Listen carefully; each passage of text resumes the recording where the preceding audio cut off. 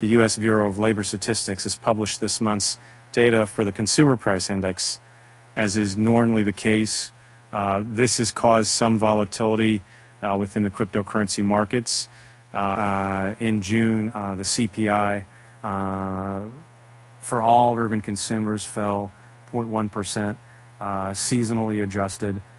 this represents a change of 3% over the last 12 months, um, not seasonally adjusted.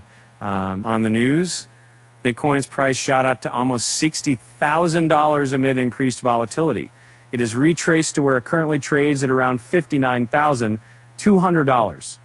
Uh, Jag Kooner, head of derivatives at Bitfinex, spoke to Crypto Potato and weighed in on the importance of the CPI uh, for the performance of the broader cryptocurrency market. Uh, he outlined that T consensus had uh, been for the CPI to remain unchanged, but it, it actually fell by 0.1%. This, he said, supports the narrative of inflation slowing down.